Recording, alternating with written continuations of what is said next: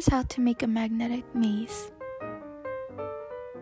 This is a magnetic maze.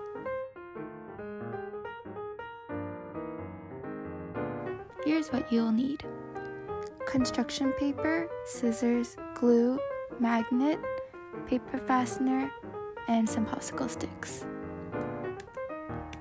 Start with your construction paper. Mark your start and finish line.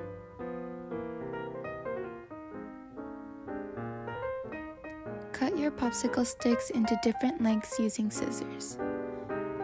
Here's where you can decorate your popsicle sticks.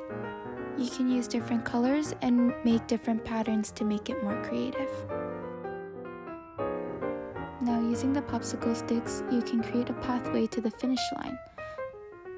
Be sure that your pathway is wide enough for your paper fastener to slide through. Be creative with your maze. You can choose to plan your path or make your path organically. Once you have decided on your path, you may glue down your popsicle sticks. And here's your maze.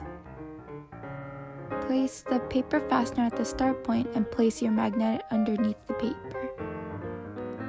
Use the magnet to slide and maneuver the paper fastener through the maze to the finish line.